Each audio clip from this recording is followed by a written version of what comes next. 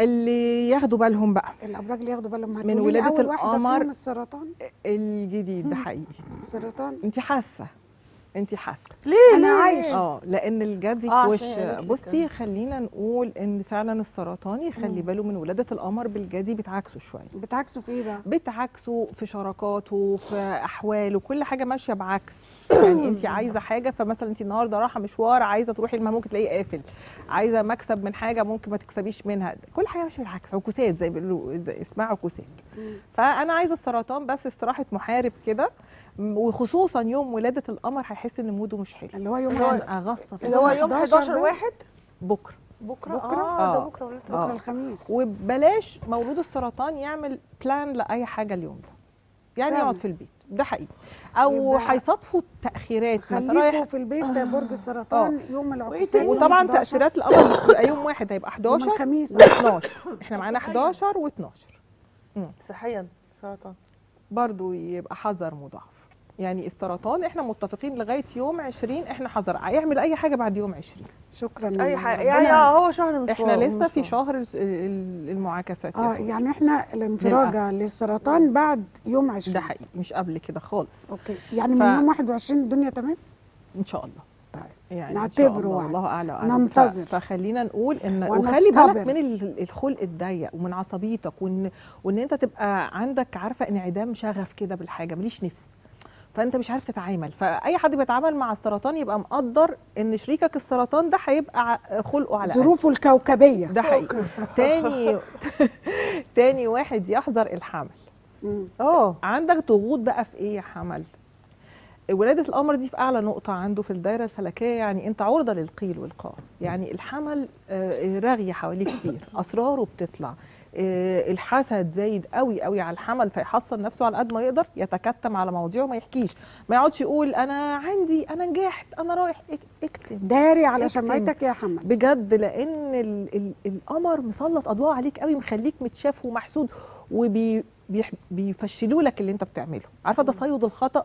بهدف زعزعة ثقة الناس فيك. لو حد بيثق فيك وفي شغلك وفي أدائك لا ابعدوه ده ما بيعرفش يبقى ما يشتغل تديش الفرصة لا للحسد. ولا لغاية يوم حاجة 20 فيه وقار. الكلام ده. لغاية يوم 20 إحنا بنتكلم بولادة القمر ومعاك هذا التأثير ال- التركيز عليك قوي يا حمل. فالتأثير طبعا لما يكون حد مركز معاك قوي وبيحاول يشوش عليك وصورتك وسمعتك ويطلع أسرارك بره أكيد أنت هتبقى محبط. فبالتالي ياخد باله. يبقى احذر يا حمل. بالظبط. من حاجات مم. كتير لحد يوم 20 في برج واحد طبعا مكسر الدنيا في 2024 إن شاء الله. حلو جدا جدا لكن عنده حذر الفترة دي. وبالرغم إنه مكسر الدنيا جوزاء. وفعلا أنا مبهورة بيه.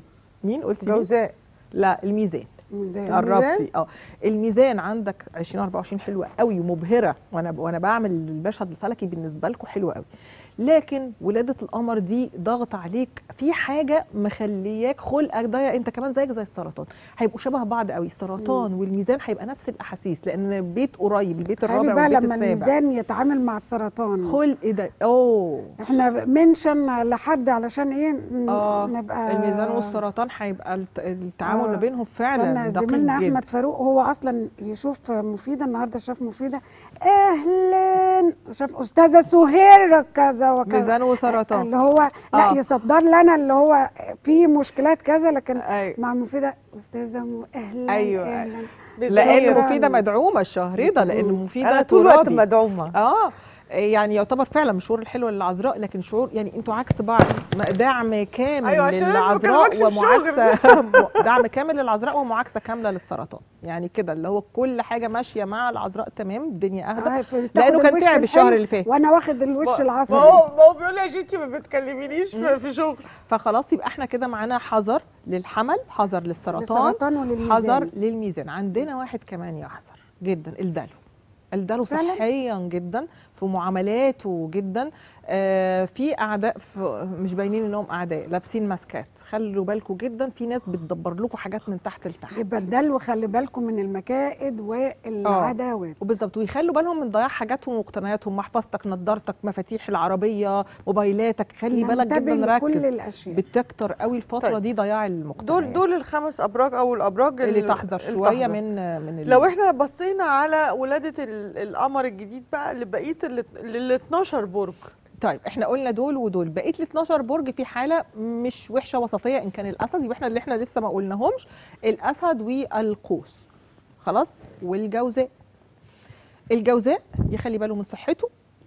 الأسد عندك شغل كتير قوي قوي. بس لو ركزت فيه هتوصل لنتيجة حلوة قوي. يبقى الأسد بيت شغل قوي بالنسبة لك وتغيير حاجة في شكلك في مظهرك في روتينك هيقرر يعمل حاجة ويعني اعملها. لو انت عايز تعمل ليزر عايز تعمل عملية تجميلية أي حاجة اعمل. لأن كنت موقفاهم بقالي فترة عشان كان في فينس ما كانش كويس وعطارد فقاعده أقول بلاش بلاش. دلوقتي عندكم الفرصة مع ولادة القمر الجديد عايز تغير قصة شعرك عايز أو هي بنتي يعني عايز تغيري قصة شعرك عايز تغيري حاجة في شكلك تعملي حاجة. خلاص ابتدي بقى الفترة المناسبة. ده للاسد بالنسبة للجوزاء أنا عايزة الجوزاء بس يخلي الأمور بال الصحية. الأمور الصحية يخلي باله منها.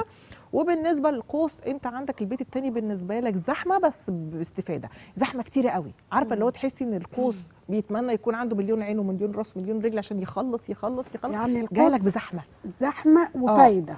لو عملها صح انت هتجيب استفادة كبيرة جدا. فنصيحتي ليك اشتغل وركز لأنك هتطلع بالنتائج حلوة قوي يبقى إحنا كده قلنا ال 12 برج. قلنا مين المحظوظين جدا؟ الخمسة الترابيين ومعاهم برجين مائيين. وقلنا ال- المتعاكسين خلاص. وقلنا اللي في المنطقة اللي في النص. طيب. كده ال 12 برج.